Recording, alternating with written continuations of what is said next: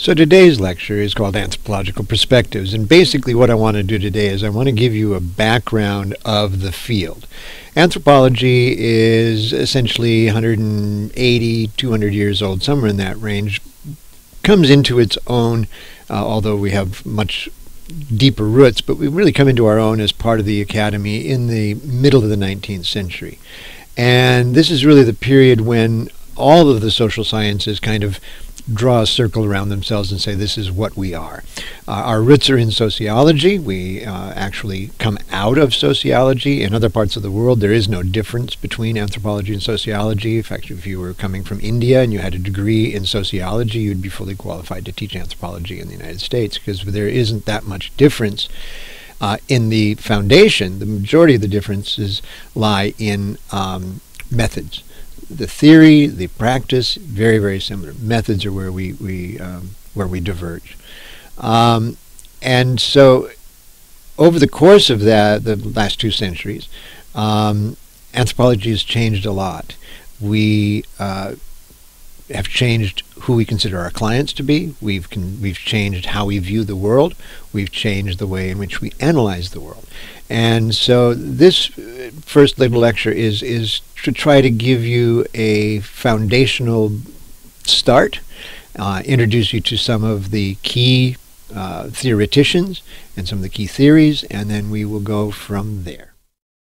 So the word anthropology comes from the Greek anthropos, meaning human, and of course logi or ology, Greek meaning science, theory, or the study of. So basically, uh, anthropology is the science or the study of uh, human, all things human, humanity. Um, and, and we're not really a science. We use science, but we are a social science, which means we are really part of the humanities. We are storytellers. Um, and so essentially, we, we are the study of humankind, past, present, and anywhere and everywhere around the world. Anthropology is the study of people and their cultures. Its roots stretch back more than a thousand years to exotic travelers' tales imagining strange societies and peoples whose behavior fascinated early explorers. But scholars began the serious study of human culture only late in the 19th century. Early anthropologists studied customs and beliefs in pre-industrial societies in the hope of opening windows onto their own pasts in order to explain how institutions like religion or the family had come to be. Some of the texts that emerged during this period continue to be influential. Among them, Marcel Mauss's book, The Gift, which argued that gifts, far from being free, create complex bonds of reciprocal obligation that help to underpin cultures. It was not until the early 20th century, though, that anthropology began to focus heavily on ethnography, the intensive long-term fieldwork that has become its best-known tool. Franz Boas in the United States and Bronislaw Malinowski in Britain rejected much of their predecessors' work as speculation and insisted on living among the people they studied and talking to them in their own languages. The questions asked by anthropology got more ambitious too. Rather than trying to understand how institutions developed over time, scholars began to ask how they fitted together to create a functioning society. This is the structural functionalist tradition, perhaps best exemplified by E. E. Evans Pritchard's Witchcraft, Oracles, and Magic a book which demonstrated that belief in witchcraft made perfect sense when understood as a way of keeping order in society. Human culture is complex, and anthropology quickly developed into a number of specializations. Political anthropology questioned the assumptions of global politics, as when James Ferguson issued his challenge to the international development industry in The Anti-Politics Machine, and showed that aid is often directed to meet political goals rather than human needs. Medical anthropology explores differing experiences of medicine and disease. And Victor Turner, in The Ritual Process, explored the power of symbols through the performance of religious ceremonies. Feminist anthropology, too, has asked fundamental questions about the ways in which we understand society. Lila Abu wonders why Western academics see the clothes worn by Muslim women as symbols of subjugation rather than acceptance of a moral system, and why they expect Afghans to cast aside their burqas when they themselves would never wear a pair of shorts to an opera. The 1960s saw further advances in anthropological theory, beginning with Claude Lévi-Strauss's ambitious attempts to study cultures as structures of human thought. His book, Structural Anthropology, drew on a model derived from linguistics to introduce what became known as structuralism, the theory that cultures are built on hidden underpinnings formed from human perceptions and activity, and the idea that all of these are constructs that are packed with meaning. A decade later, Clifford Geertz advanced another idea. His The Interpretation of Cultures suggested that cultures should not be studied scientifically and in search of laws, but interpretively, by scholars in search of meaning. This fresh thinking forced a re examination of much ethnographic fieldwork, but it also liberated anthropology from a focus on the reproduction of culture that had made it blind to social change. Johannes Fabian's Time and the Other provides an example of anthropologists radically rethinking the ways in which they approach the people whom they study. Fabian pointed out how easy it was to fall into the trap of writing about people as if they inhabited not just another place, but another time. His work helped to inspire the development of historical anthropology, and texts like Eric Wolf's Europe and the People Without History, which gave voice to people whose stories had formerly been ignored. Today, anthropologists still seek new ways to reevaluate old problems and apply ethnographic methods to modern people in a rapidly changing and globalizing world. So anthropology includes four subfields. Now I'll use the word the word field uh, on and off throughout the course of this uh, course. And sometimes when I use the word the word field, I'm talking about the field of anthropology or the subfields and the sub-subfields underneath the field of anthropology. Other times when I use the word the field, I'm referring to uh, where we do our research. So the field can be both where we do our research and what we do, uh, you know, the, the, the entire uh, field. Uh, anthropology in the United States has three, uh, I mean, I'm sorry, has four major subfields. Uh, British anthropology and most European anthropologies uh, only have um, three subfields, and I'll talk about the why and the wherefore in just a moment. So, in the United States, we have cultural anthropology, which is what I do. Um, and what distinguishes cultural anthropology from all other uh, studies, all other fields, is um, what we call ethnography. And ethnography is both what we do in the field, how we do our research, and what we publish, the published results. So we do ethnography and we publish an ethnography. Again, much of what we're going to cover in a lot of these lectures is just the terminology because we, like in any uh, uh, any field there's a lot there are a lot of terms and coming to grips with those terms will help you then understand what it is we're talking about. So cultural anthropology is uh, the first one i want to talk about and the one that that i practice on a regular basis. Uh, the next one is is uh, biological or physical anthropology. We've called it both over the years. Essentially, that is the study of, of human evolution in primates.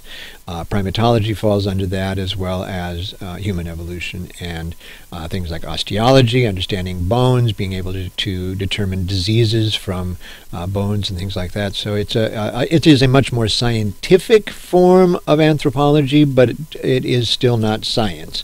Um, it uses a lot of science, but um, uh, it, it, itself doesn't set up experiments and then, then test them.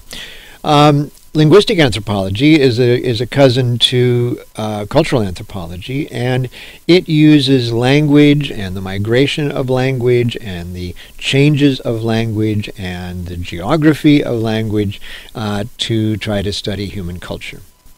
And then finally, and those three all exist in, in British and European anthropology. Um, the biggest difference being archaeology, and I'll explain that in a minute. Ar- archaeology is what most people think of when they uh, think of anthropologists, somebody digging in the dirt for dinosaurs. Well, number one, dinosaurs are not archaeology, they are paleontology. Uh, archaeology, although archaeologists have been known to dig up a tusk from time to time, uh, archaeologists are basically trying to dig up human culture, not biological remains or, or evidence of biological remains from the past. And so um, there's, there's a, some of the methods are the same, some of the techniques are the same, but the theory and the, the background are all completely different. Now, in the United States, archaeology is under anthropology primarily because of America's unique racist past. Um, America is uh, born in genocide and built on the backs of slaves, and we tend to um, perpetuate a lot of what has come before uh, in, the present. And so archaeology is actually a reflection of that. Uh, and let me expl- let me go to Europe, and then I'll use Brit- Britain as an example, or, or England as an example, uh, primarily because I also teach uh, history of the British Isles, and so it's a quick, easy reference for me. Um, so if you were to go to, let's say that you were a college student in uh, the UK, not here in the US, and you wanted to study archaeology, you wouldn't go to the anthropology department, you would go to the history department because it is in the history department where archaeology sits. Because if you walk out to, to your to your backyard or to your garden, as they would call it, to your back garden, and you stick a shovel in the ground and you dig down six inches and then put the shovel aside and start scraping with a trowel, you will hit Victorian. And before that, you will hit Tudor and Georgian, and you will hit Anglo Saxon, and you will hit Roman, and you will hit Iron Age, and you will hit Bronze Age, and you will hit Neolithic, and you will hit uh, uh, Mesolithic, and you might even hit Paleolithic, because for 100,000 years, humans have occupied the British Isles, and there is a connection between the past and the present. Now, humans have existed in, in North America almost as long as they have existed elsewhere. However, because the academy comes with the introduction of, of people from Europe, um, and they're the ones telling the stories, there's a rather than when when you scrape in the United States, you don't find uh, our past, quote, America's past. What you find is the indigenous past, and that's the other. They are racially separate, they're culturally separate, they're separated in time, and so it grew up under anthropology, which came out of ethnohistory, which was the study of Native Americans, uh, just as cultural anthropologists in Europe and in England were helping the colonizers control uh, the colonies that, that those countries had. Uh, in this country, the ethnohistorians and later the anthropologists worked with the government to try to subdue and subjugate the Native Americans. And so that the our connection, our attachment to um, the uh, uh, uh to the past. It's severed with the arrival of white people. Anything before that is the other, and so archaeology here is the study of the foreign, the other, the exotic. Whereas archaeology in, in much of the rest of the world is grandpa and grandma and great great grandma, and um, you know there's a there's a tie. I mean, we'll talk about this later, but the uh, the, the, there's a skeleton was found in a cave in the Cheddar Gorge in, in the UK uh, 8,000 years ago. Uh, his descendants, he'd done this by testing the DNA. His his descendants still live in the Cheddar uh, in the Cheddar Gorge in the in the Cheddar region, and so there is no differentiation between what came before and what exists today.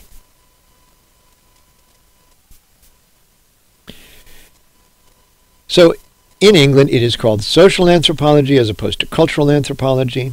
Um, in the in Britain, they focus primarily on social structures and institutions, the family, education, um, you know, what the, the religious institutions, all of the institutions and the social structures that um, that govern society. American cultural anthropology is, is a little different. Instead of looking so much at the structures and institutions, we look at practices, we look at, at expression and language, we looked at, at shared we look at shared meaning uh, we look at shared meaning making. Uh, we also look at structures and institutions, but we but they're not our primary uh, em- emphasis. Um, I tend to call myself a sociocultural anthropologist because I kind of blend uh, uh, the two, and I'm also a, a, a, historian. But I'm not a historical anthropologist, although maybe one of these days I'll decide that that's what I am. Uh, I may have to change the way I do some of the things. But um, uh, many anthropologists are, are interdisciplinary simply by the nature of the beast.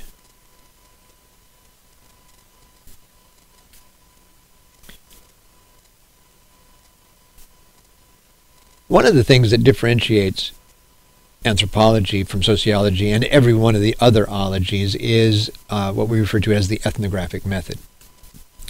Uh, we describe it as participant or participatory observation. In other words, we primarily focus our research on intensive field work, long stays over extended periods of time. We go to the field, we observe the field. We don't worry so much about statistics. We don't do we do surveys, but that's not our primary uh, function. We aren't looking at numeric data. We are looking at qualitative data. What can you observe? What does it what are they doing? How are they dressed? How are they doing it? And then try to figure out what it means. Um, it, it, it, that's this is what differentiates uh, differentiates us from all the other uh, social sciences. Sociologists will tell you that they do ethnography, and, and, uh, and anthropologists will tell you that they do surveys. Uh, we don't do surveys well, and they don't do ethnography well. Um, although um, uh, over at Fresno State, the chair at, at one point is uh, was considered herself an ethnographic sociologist. So I mean, there is overlap in the in the disciplines, but um, that's just the nature of the beast. So uh, when we go out into the field, there there are a number of things that we have to take into consideration. Number one, we have to be able to to, to speak the language. Um, there's there's no point in going into the field if you can't communicate with the people that you're observing. Um, very often, it is necessary for the observer either once they're in the field or before they go to the field to learn customs, behaviors, norms, cultural rules, uh, understand you know taboo, understand uh, uh, proper expression, courtesies, those types of things. Uh, and the purpose of, of doing this, the purpose of going into the field and and and and really trying to uh, boil down the society based on what you observe or the culture on what you observe. We, we do that through a number of different methods and techniques, and we, will talk about these in detail as the course goes on. But we do it through observation, and we do it through participation. We we actually we don't just observe. We're not stalkers. We don't just sit around the edges. We actually get involved with the community. We get to know the members. We get to to to know them in a way that we begin to ascertain their motivations and their, their thoughts and their emotions and the things behind them. We also do interviews. Uh, the interviews are, are, tend to be whole life interviews or oral history interviews, life histories. Um, we also concrete uh, collect concrete data. This is this is more of a quantitative, uh, and so we will do surveys. We'll figure out the number of people in a community. We'll figure out the relations. We'll do all kinds of, of things. We'll figure out how the families are related, that type of thing. One of the ways that we do this is by in the field we take field notes. Now, everyone, just like you, you taking notes in a class, uh, each one of you does it a different way. Uh, and this is true of, of people in the field. There are lots of different techniques for taking field notes. Each of us does it differently. Um, uh, we will talk about that as, as we go on. Uh, but it's uh, it's basically us recording in as much detail as necessary to capture what we see. And that can be augmented, in, the field notes can be augmented by video, they can be augmented by audio, they can be aug- augmented by photographs. But don't rely on those things because none of those capture the feeling uh, that you had when you were actually in that situation. So many of us supplement our field notes with electronic data collection, but um, we all we, we understand, or hopefully we understand that that that is only a snapshot, literally, of of that moment. Um, and then there's uh, uh, one final part, and that uh, this is one of the more fun parts uh, and it also is one of the most crucial parts, and that is for the ethnographer, the anthropologist, to actually um, chronicle his or her own actions. What was it like to be in the field? What was it that, that you were surprised about? What shocked you? What was new? What what didn't you expect? What did you expect? What did you feel? What did what do you think your subjects felt? Um, what were the difficulties you had? What were the things that were easy? And then by understand by, by documenting those things and attaching them to your observation of the community, it actually gives the context or a portion of the context um, that the reader or the, the listener will have then uh, in looking at the ethnography, they understand the process that, that uh, went behind actually producing that ethnography. As I said before, um, the field is a term we use two different ways. Um, and this point, I want to do it not the field of anthropology, but the field where we do our research. As I said before, especially in the 19th and the first half of the 20th century, um, anthropologists tended to seek out the other. And again, consider when a lot of this is going on, the 1860s through the 1920s. Uh, this is a, a, a period of uh, colonial, colonization.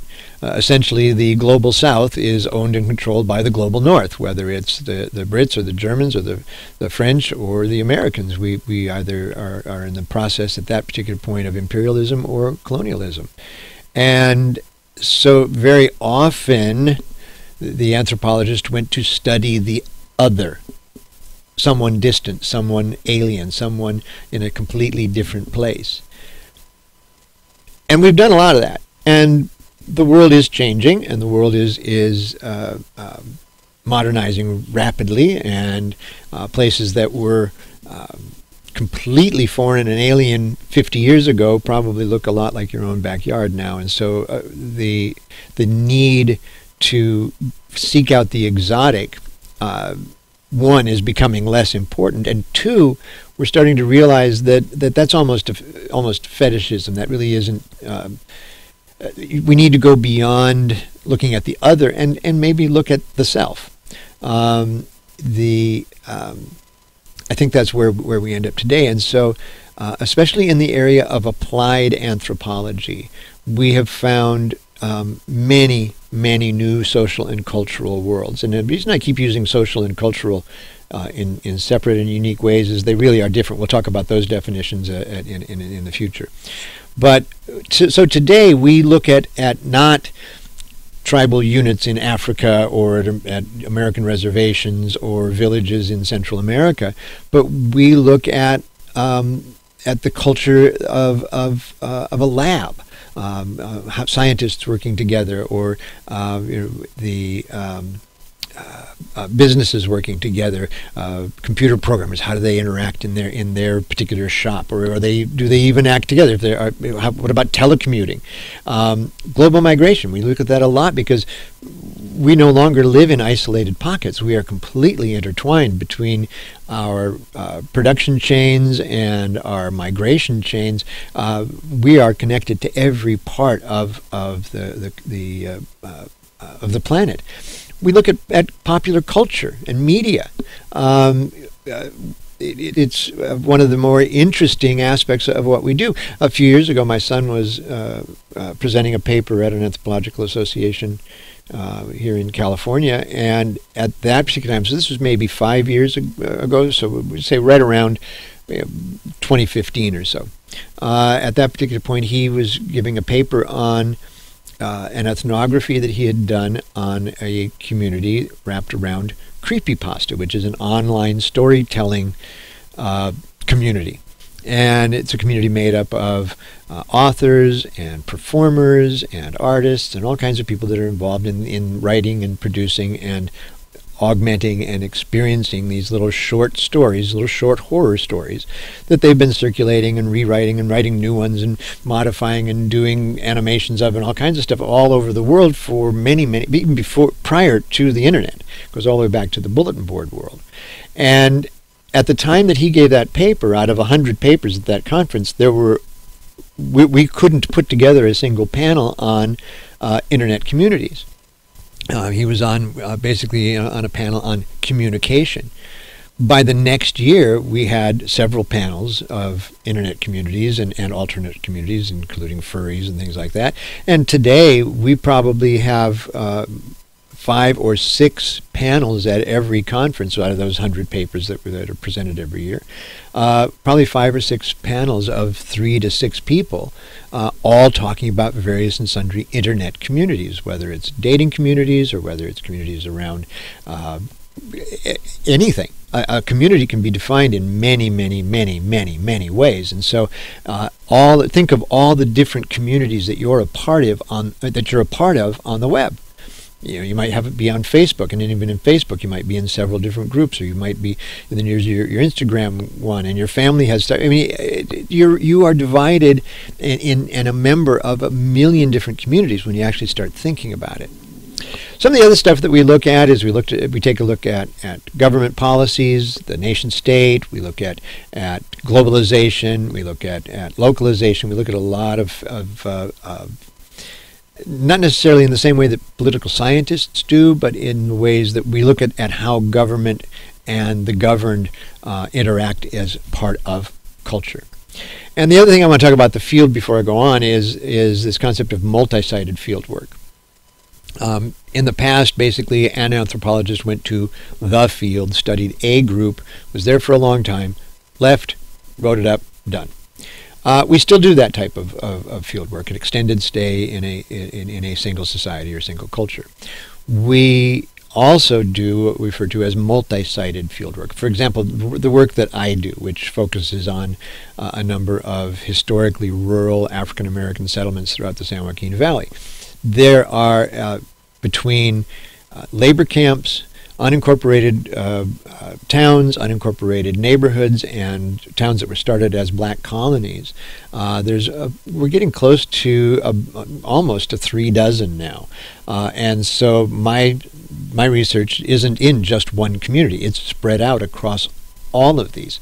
Um, there's they're related, they're also each one is is separate. So uh, you could say that the San Joaquin Valley is a single site, so it could be a single site there, uh, or you could say that each one of the communities that I work in is a separate site, and so it would be a multi-sited fieldwork project. I want to talk about some of the key uh, theoreticians, the early ones especially. Uh, a couple of them, uh, Franz Boas we'll talk about. We'll talk about Kroeber. Um, but we want to talk about the, the changing concepts of theory uh, throughout the uh, the history of anthropology and, and how we got from where we are to from where we were to where we are.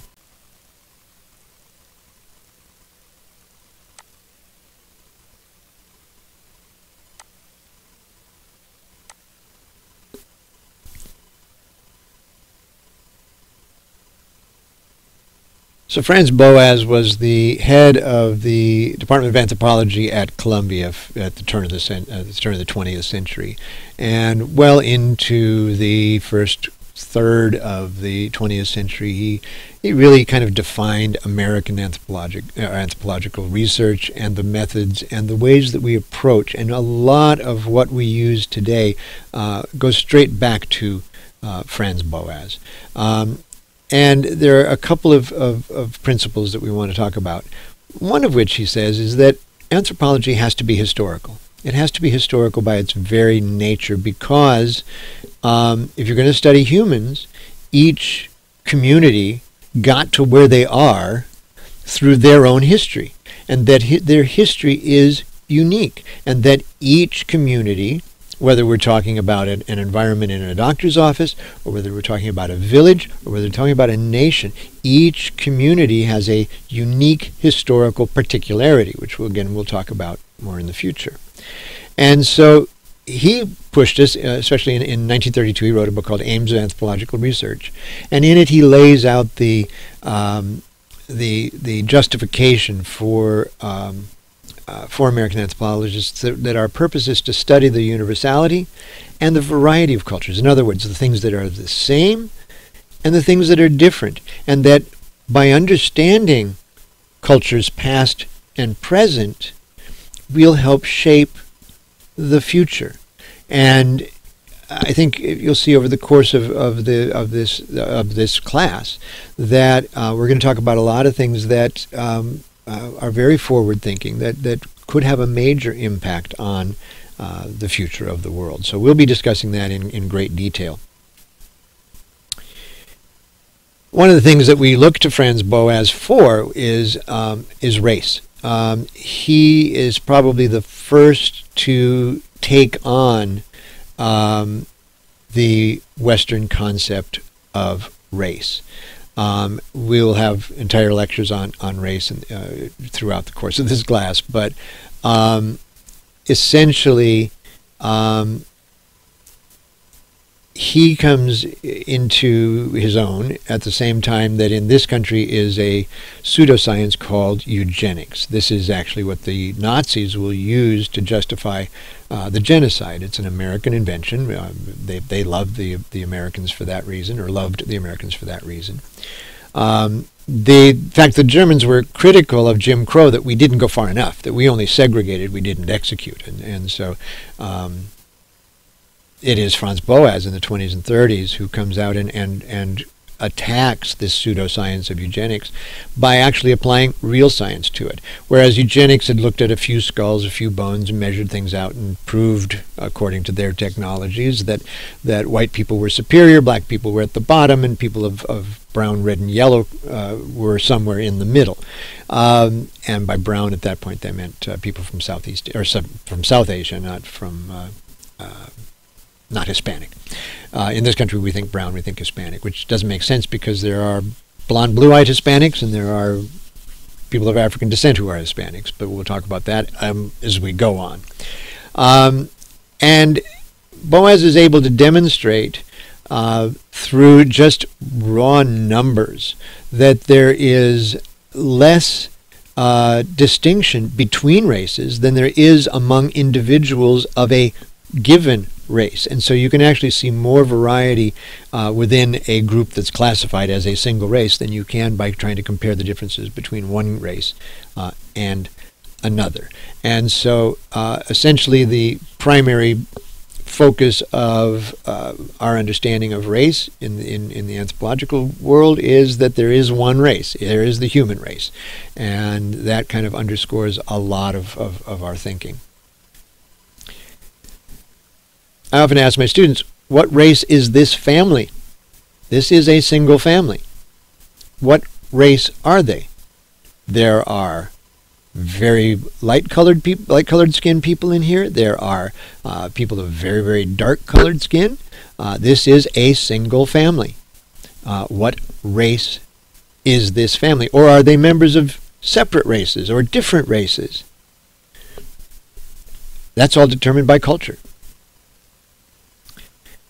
So essentially, we don't believe that there's any relationship between a racial type and the culture.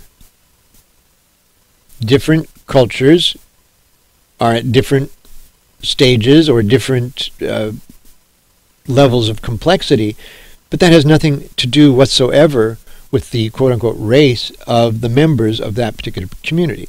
Uh, it's much more cultural or, or even ethnic, if you want to call it that, uh, that has a, lot more to influence on uh, the differences, differences between different cultures. Cultural phenomenon is not produced by race, it is produced by the interaction of individuals and society. That's what makes culture. Um, you cannot reduce culture to geography, to the environment, to economics, and especially not to race.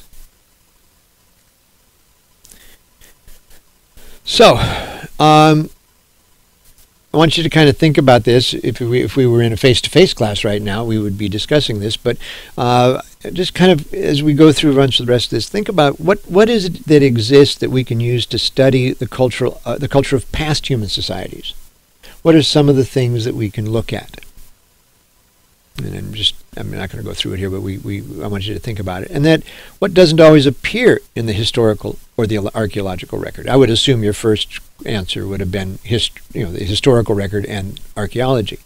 Uh, but there's a lot that doesn't appear in either of those.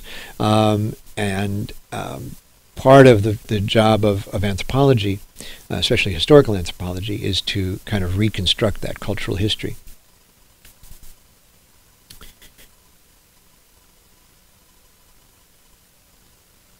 Often, when we look at different cultures, we, we kind of focus on, well, where did they come from?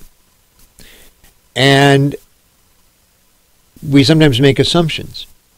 Um, oftentimes, the origin of something has absolutely nothing to do with where or how it's practiced contemporary in the contemporary world. Um, for for example, you know we talk about Western religion, Christianity, Judaism, Islam.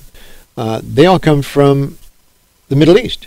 They all come from either Palestine or Arabia. Um, those are not Western religions. They are westernized, but the Judaism and Christianity are probably strongest in the West, but neither is a Western religion. And so there's no connection between the origins of those religions and the areas in which they are most uh, uh, prominent today. Buddhism would be another example. Starts in India moves to China and then eventually to Japan, it is a minority. It's the eighth largest religion in India today. Um, uh, other religions are, are larger than uh, Buddhism in India where it originated. And the same is true of, of, of uh, some of the so called Western religions as well.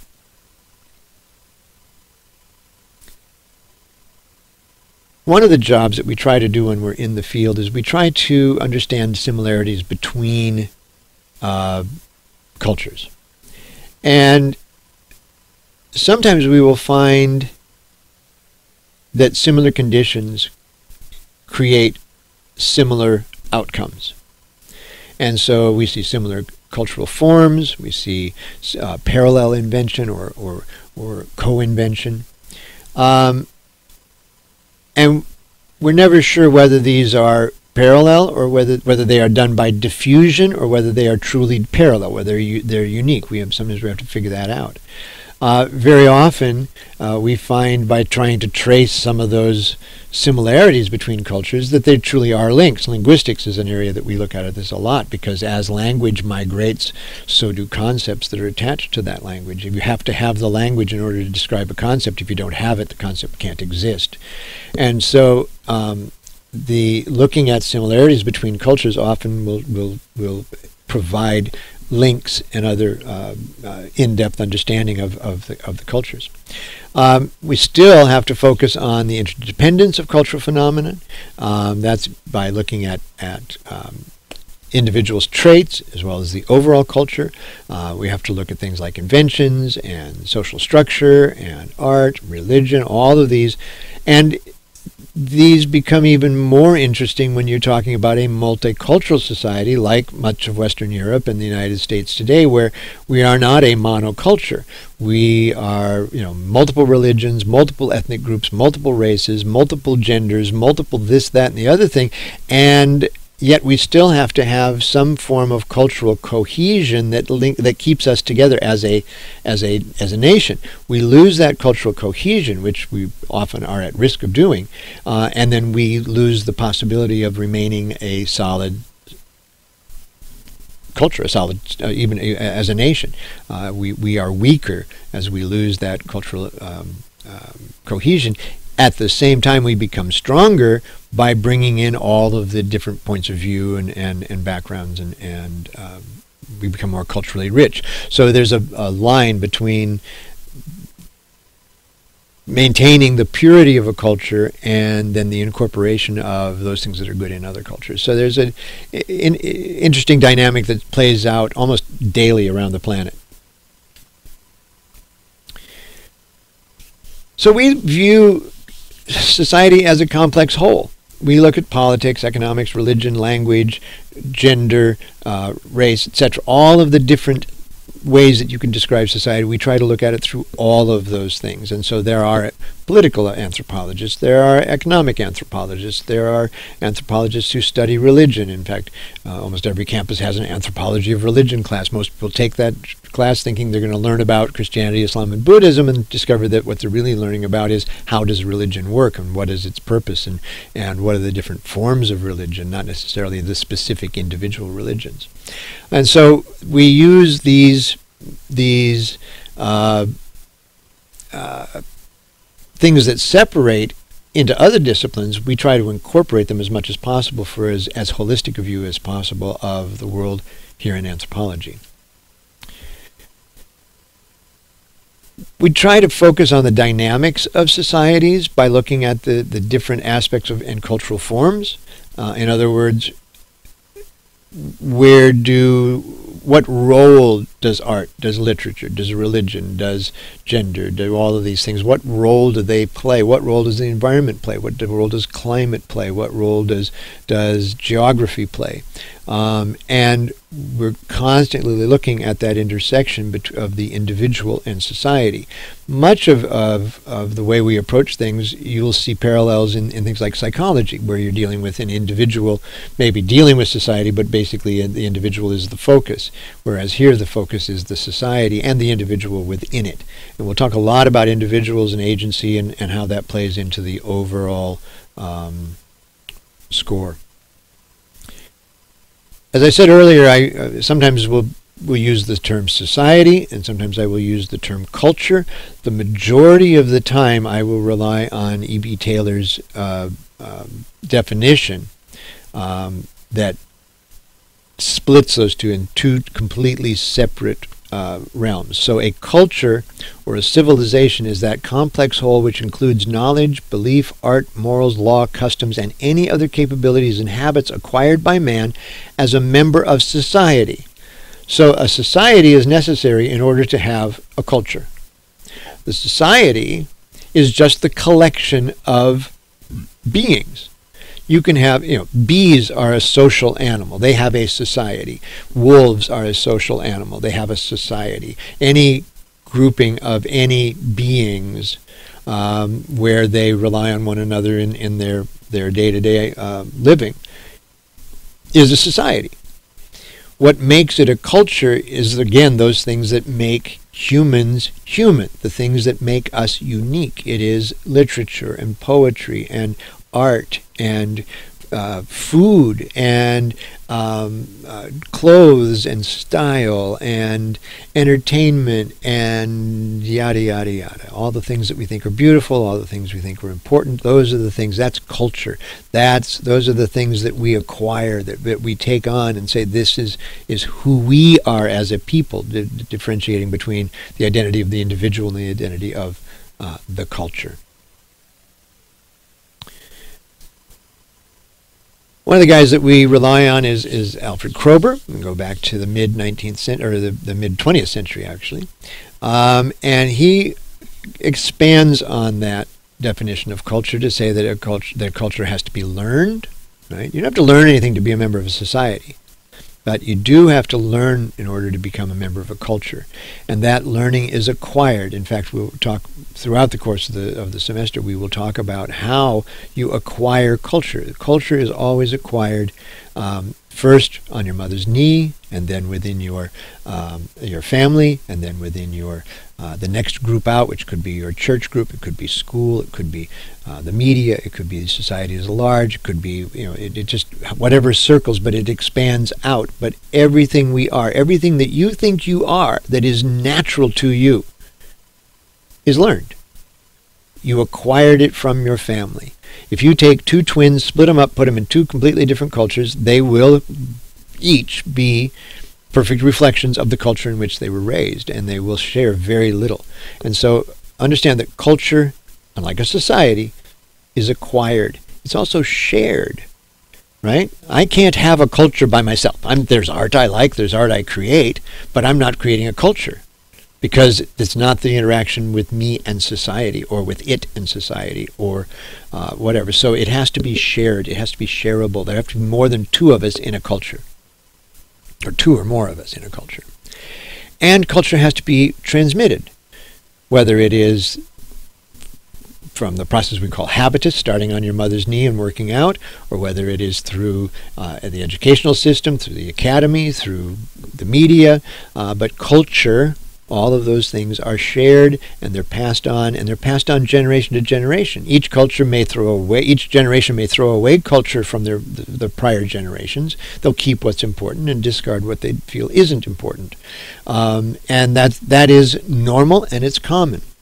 Now, Remember, culture is super organic, it is not biological. There, there have been attempts in the past to say humanity is like an organism, and it functions just like an organism. And there are certain similarities as far as as uh, biological patterns of, of uh, uh, reproduction and things like that. But, but the really, you can't really call uh, society biological in it in, in any way, shape, or form. I mean, obviously, it isn't biological, and except for the fact that it's made up of biological units. But the society itself doesn't function like uh, an animal or a vegetable or, or anything along that where it would be biological.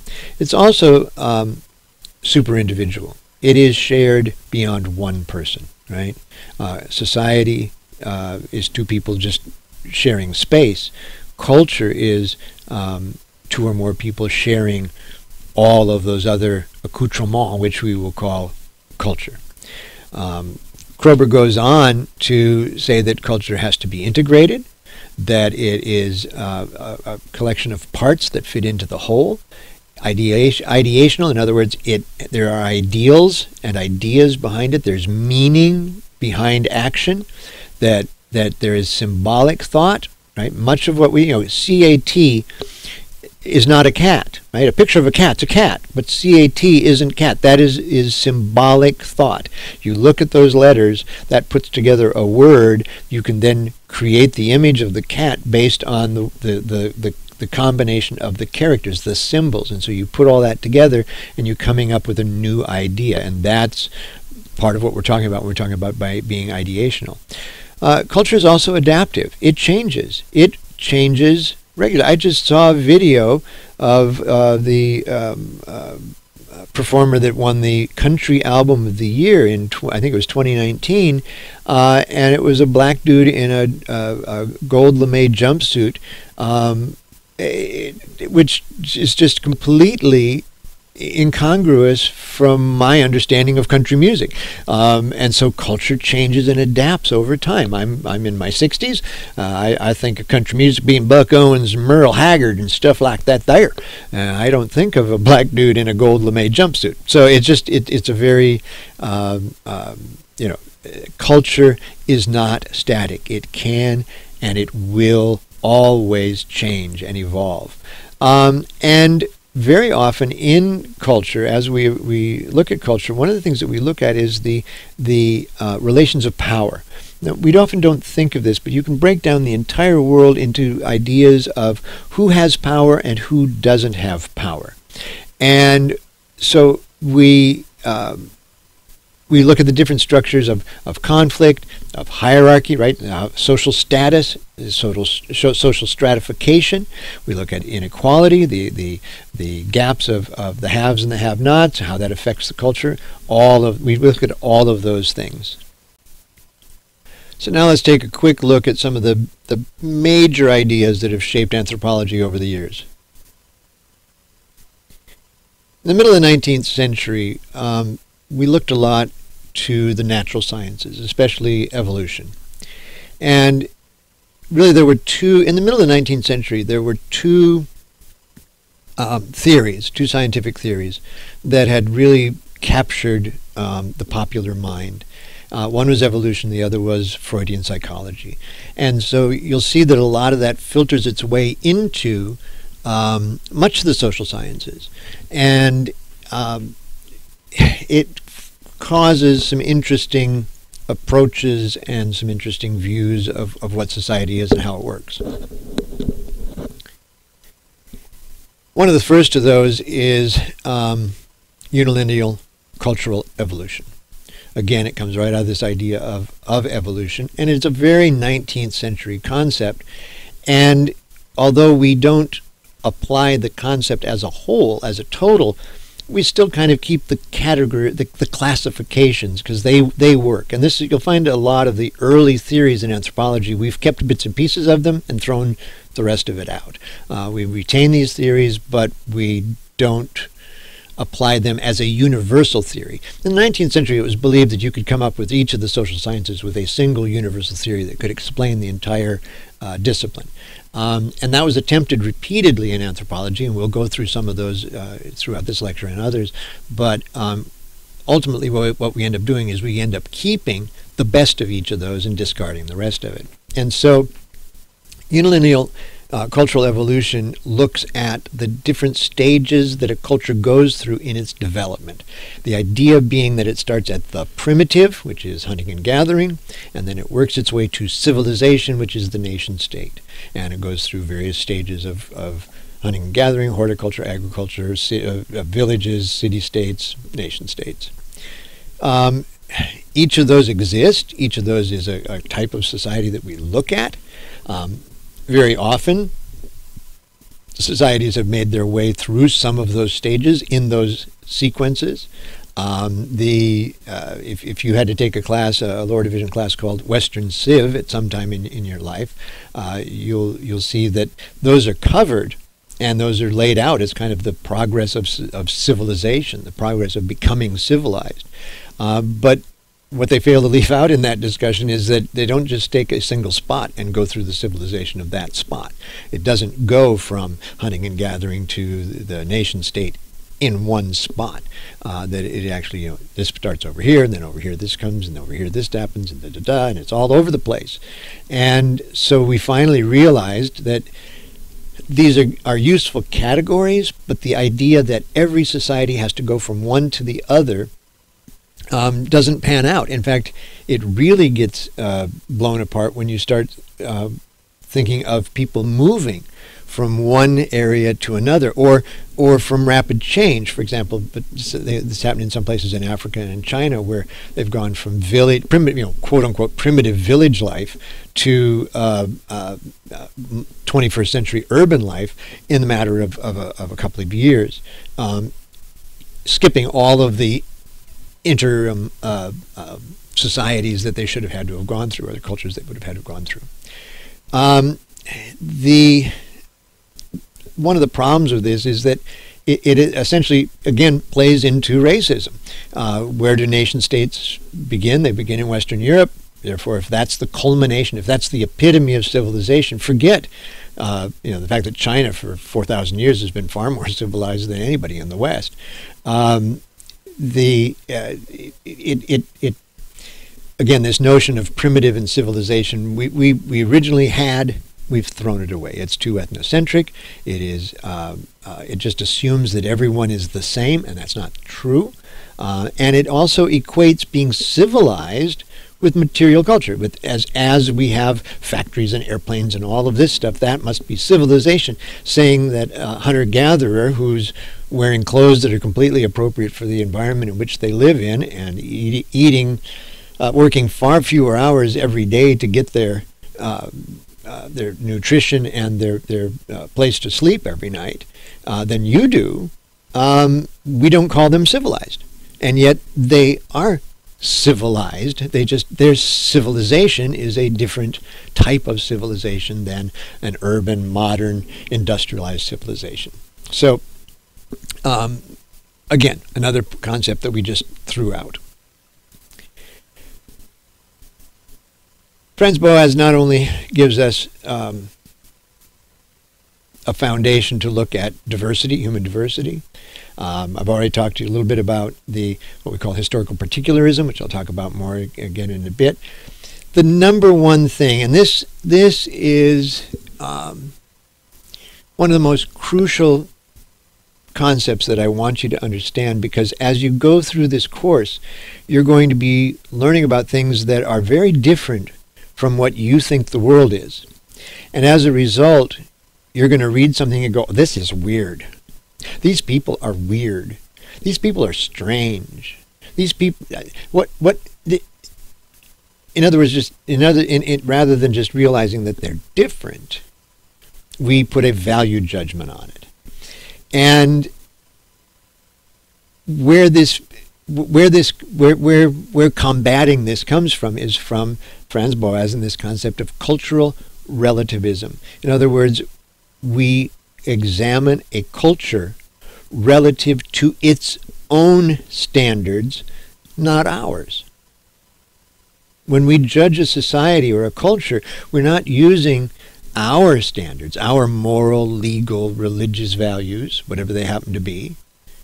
We use their own that society's own view of themselves that that the differences in people are a result of our unique histories our unique geographic conditions our unique um, diet and climate all of these things play into what makes societies different and you must take into consideration the environment in which that culture evolves and not put a value on the judgments that you make when you're when you're when you're when you're examining it. And that regardless of what you think a society should or shouldn't have, a culture should or shouldn't have, that all communities, all populations have an equally developed culture. It just may be that they're fully functional and fully sufficient in a mode of uh, an economic mode that may be different yours. And hunting and gathering still exists on the planet. Why does it still exist?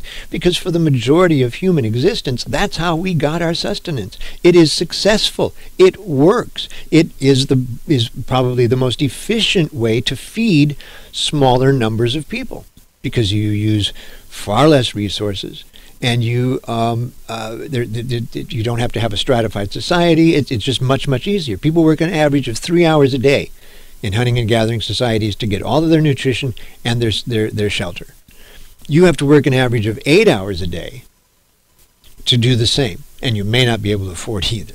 So. Um, you know, again, we have to take each society as it comes relative to itself, cultural relativism, and I will keep saying that. When you do, uh, when you look at one of the, the online readings that I want you to read for this class, and you come back and you go, these people are weird, I'm gonna, I'm gonna jump all over you. Nobody's weird. We're all unique. We're all different. Your job isn't to tell me that they're weird. Your job isn't to judge them. Your job is to learn to understand them. That's what this class is all about. As I mentioned earlier, the other main concept we get from Franz Boas is what we refer to as historical particularism. And this is, again, and I've said it once and I'll say it again, and I will probably repeat it a dozen times as we go through. Every society has a unique history, and we must assume that their present is based on their specific history. That that uni- there, is, there is no universal law as to how a, a society or a culture should function, that each society, each culture functions in the way that it does based on its own history, its geography, its population, and how it got to that point. And so we often um, we'll look at a society and go, oh, you know, this is all messed up, instead of trying to look at how they got there. And this, so when I use the term historical particularism, I'm saying you have to understand that society's or that culture's particular history in order to understand their particular present. Franz Boas's Race, Language, and Culture. How should we compare different cultures? Franz Boas, an American anthropologist and advocate for human rights, lived from 1858 to 1942, a time when hierarchical cultural theories were widespread. He disagreed with this school of thought, and in Race, Language, and Culture, a collection of essays released in 1940, he presented a different view. Boas argued that humans are not reducible to simple understandings based upon their biology. Instead, we are shaped by several other factors. The cultures people interact with and major historical events in their ancestors' lives help determine a societal structure. Culture, Boas believed, is a bigger determinant of evolution in human societies than biology. Further, Boas believed we couldn't make value judgments of the traditions and beliefs of societies that developed in completely different environments. In doing so, he developed cultural relativism, which states that we can't judge different cultures using our own cultural values. Similarly, Boas rejected hierarchical theories that ranked cultures in terms of their value or worth. He contended that societies may be different, but none are better than any other. To understand Boas's argument, let's consider a pair of societies on an island. One society exists up in the mountains, while the other is located by the coast. The coastal society's culture is based on fishing. Inhabitants learn to fish at a young age, and the whole population survives off the ocean. The mountain society's culture is based on hunting. Inhabitants begin hunting while they are children, and the population's main food is meat. Both societies have developed a stable social structure based on their primary activity. Their political, economic, and religious lives are built around this. These two societies are not in contact, except for a few travelers who have passed from one place to the other. From the stories they share, each society decides their way of living is superior to the other. One day, the leaders of the two societies meet and begin to talk. Each highlights the benefits of their way of life, believing that they can improve the other society. As time passes, they both begin to realize that neither society is better or worse, but they are just different. They recognize that to understand each other's way of life at all, they would have to use cultural relativism. This requires them to understand the complex factors that have shaped the other society. Franz Boas's Race, Language, and Culture was a highly progressive work which became very influential to 20th century American anthropology.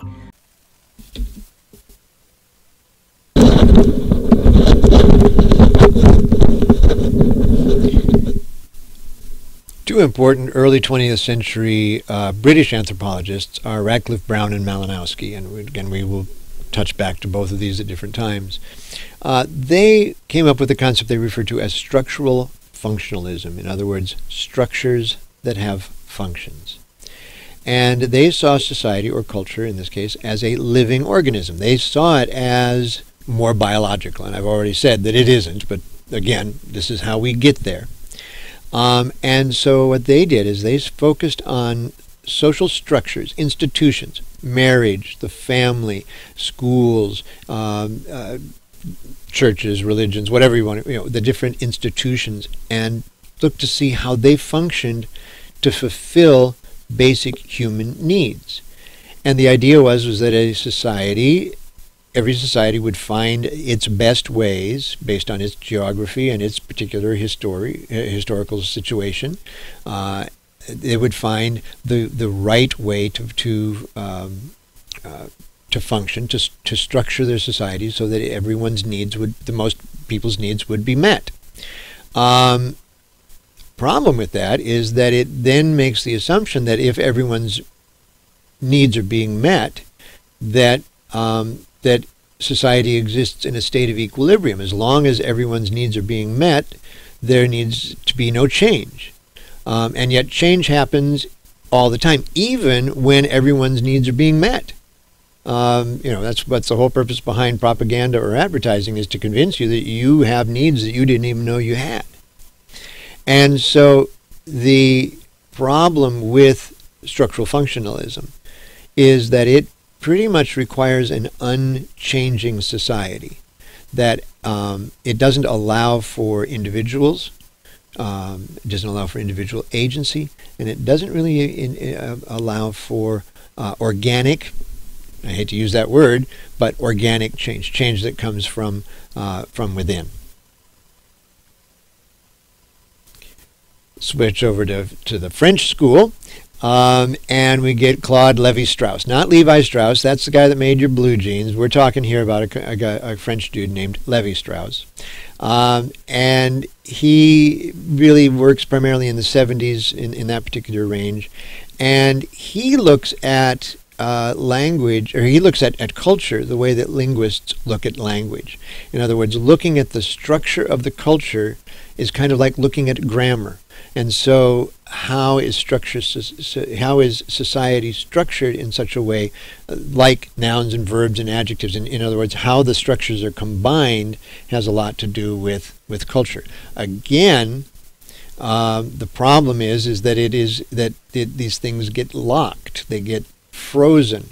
And it unlike functionalism structural functionalism um, which doesn't allow for change, one of the problems with structuralism as such is that it makes the assumption that structures are universal, that the family is a universal structure, which is probably one of the very, very few. But all of the other things that we look at as, as part of, of, of society um, are historical in nature, and you need to analyze them that way. And so by just saying, here's the here are the structures, these are the things that influence the society. Um, it, it, it is insufficient. Again, we rely on structuralism, we just don't use it as a grand theory that explains everything. Claude Levi Strauss's Structural Anthropology. Do diverse cultures share more similarities than differences? French anthropologist Claude Levi Strauss believed that they do in his book Structural Anthropology, he argued that parallels across cultures are more important than the differences between them. Strauss believed that humans have many basic needs in common. For example, the need to reconcile our understandings of birth and death. Cultural institutions arise to serve these mental needs, and hence Strauss argued that people are governed by the structure of their own minds. This theory has come to be called structuralism. Structuralism looks at particular manifestations of culture as largely incidental. It's more interested in uncovering the regularities that underlie the world's cultures rather than exploring how they are different. Strauss was concerned with common mental needs, which are interpreted in different ways by different cultures. He believed that the most important human need is the reconciliation of common binary opposites. These include life and death, love and hate, and allies and enemies. Strauss believed that we can best investigate a culture by looking at its binary opposites. These, he argued, are manifestations of the underlying rules that govern social life. To understand more about how structuralism works, Let's imagine two toy factories. These factories have several obvious differences. One factory is based in Japan and makes toy cars. The other is based in America and makes toy airplanes. The factories pay their employees different wages, and their management structures differ too. Further, the toy cars are packaged in boxes, while the toy airplanes are encased in plastic. But despite these differences, they still share many of the same practices. To Strauss's structural theory, it is these similarities which are more important as they demonstrate underlying needs. Both factories have a payment and management structure which reflects the underlying need to keep employees working and make sure that requirements are followed. Both factories package toys to look attractive reflecting the need of the factory to sell the toys. These similarities are manifestations of the logic of the human mind. This logic is consistent across businesses which need to earn a profit. Further, we can look at examples of the binary opposites evident in each factory. Toys are either suitable for sale or are defective, and employees are either timely or late it is these rules which govern the factories and determine how they run. Strauss's book outlined what became a key theory in 20th century anthropology, and it continues to influence thinking today. Likewise, Clifford Geertz in the 1980s gave us symbolic or interpretive anthropology. Uh, and again, the purpose of this was to discover meaning. It was to analyze a culture by looking at its symbols, at looking at, at those things that contain meaning. Um, and everything can contain meaning, and everything can be a symbol. And we'll uh, do an entire lecture on, on symbols and symbolism um, um, after we talk about language and how it works a little bit. But one of the things that he talks about is that looking at layers of meaning. And he suggests that we do what we refer to as thick description. And for at this particular level, what I want you to take away from this notion is that when you're doing your field notes, and and uh, this class probably will have an observation, uh, and you will be out in the field doing field work, and um, the aspect of thick description that I really want you to worry about at this point, although we'll get we may work on others as we get farther down the road, but initially what I want you to think about is is that essentially everything is important. That that you don't know when you're observing, and especially initially, and, and often undergrads go out and do one observation, so that means they have to kind of cover everything in one shot. You don't know what's important. Does the color of the carpet matter? It might. Does the, the, the fact that there, there's a, a cover missing from the, the plug-in on the wall, um, but the rest of the place looks really nice, um, is that important? Does it matter? It may. You never know. And so, um, and, and as I think I've said before, when you're out doing observation, using film and video and, and audio and, and things like that are good reminders, but they never ever will replace your notes, what you write down.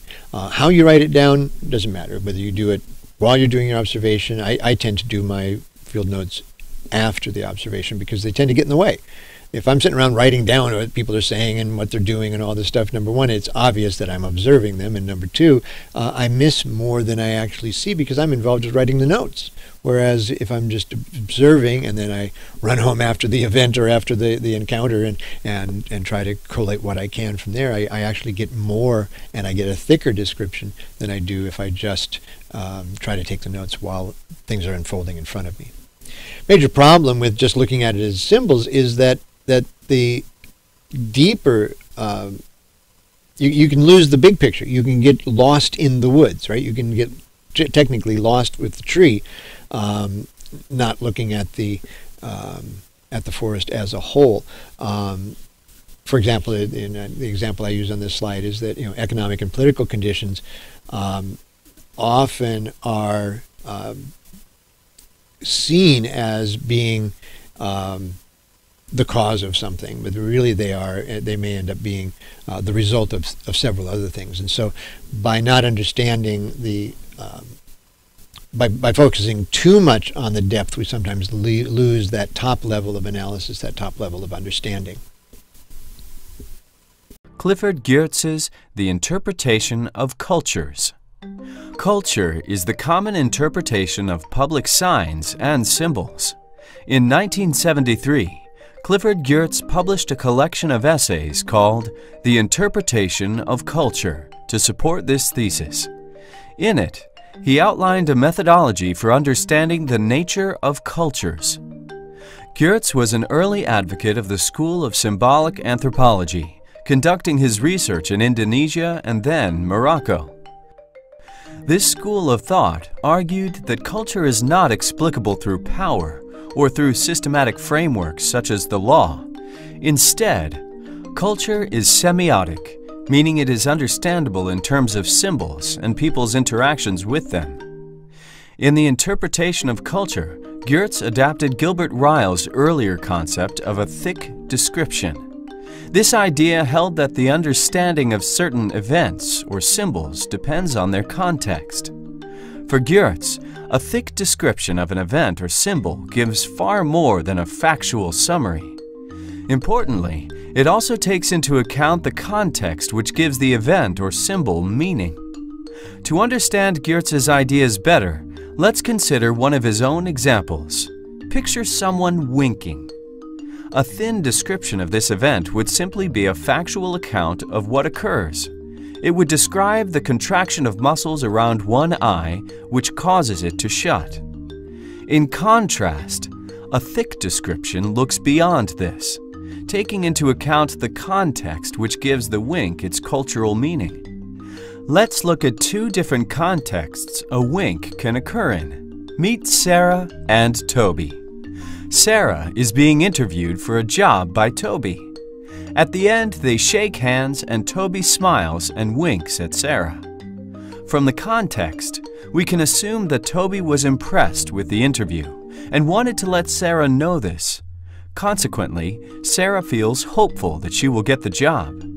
Now instead, Let's say Toby and Sarah are in a bar, and Sarah offers to buy Toby a drink. Toby accepts, and Sarah passes him the drink, winking as she does so. Now that the context is different, so is the meaning of the wink. It is now flirtatious and a suggestion of interest from Sarah to Toby. Even though the gesture was the same, placed in these two different contexts, it has an entirely different meaning. Only through understanding the meanings people apply to winking can we judge the intention in each scenario. Clifford Geertz was a highly influential American cultural anthropologist, and his ideas continue to resonate in modern academic thought. Since the 1980s, anthropology has really become uh, steeped in its roots in the humanities. Uh, we have spent a lot of time examining our past. Uh, this primarily comes out of the fact that for most of the 19th century, we were the primary assistant to the colonizers in controlling the colonized. And so we, we now look at um, our, our goal not so much as to help the colonized be colonized, but to decolonize the colonized and to um, really be a voice for the voiceless. Um, we tend to try to challenge generalization. The the in, like I said in the past, we looked for these grand theories, one theory that could explain how society works, and since the 1980s and in, and definitely into the, the uh, 21st century, we acknowledge that that that it, it we go even beyond Boas's particularity, his historical particularity and, and cultural relativism, to, to really uh, deep down believe the uniqueness and the and the, the um, uh, separate identity of, of of almost every every cultural combination that we're in, and and, and realize that that uh, there's value in in all of the different cultures and societies that we're each members of, um, and we emphasize not just the observation, which is where we start, but also a dialogue. And that dialogue isn't just in having a conversation or just doing an interview. That is that participatory observation. That that the fact that you go into the community, you become part of the community to whatever degree that you do become part of the community. If you're if you're living in the community for 3 months to 12 months, you really are a member of that community and just by your existence you've changed the nature of the community. I tend to uh, not do the long stays. I do the long duration, where I go into the communities uh, over uh, repeatedly over a long period of time. That way, I can sleep in my own bed at night. And um, but but again, each community is specific, and each one is um, uh, is unique. And but once you become part of it, you change it, and you have to acknowledge that you've changed it. You have to be able to differentiate where you've made those changes and, and how to analyze the society uh, around that. The whole process, the whole reason for going out into the field, the, the, the, the central purpose of doing ethnography is to make meaning, is to, to, to try to suss the meaning out of the actions of our fellow human beings. And that by understanding all of the various and sundry points of view that are out there, the different uh, different ways to view the world. Look, we all grow up in very isolated uh, uh, uh situations. Uh, very few of you in this class or in any of your classes uh, are from other countries. Very few are from other states. There are a few, and you're more likely to see them here at, in college or at the university than than anywhere else. Um, but you're coming from a very narrow background.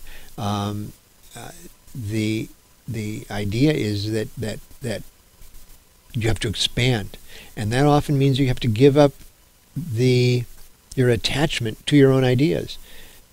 What you believe, what you think is important, those are perfect for you. And that, that, that and they and you shouldn't in any way, shape, or form um, um, necessarily give them up or, or, or diminish them in any way. But what you need to do is when you look at other cultures is make sure that you're not judging them on yours, on your culture, but on, on their own culture themselves. Um, even trying to categorize, even setting up the various and sundry categories, like I said, the hunters and gatherers, horticulture, agriculture, etc., etc., etc.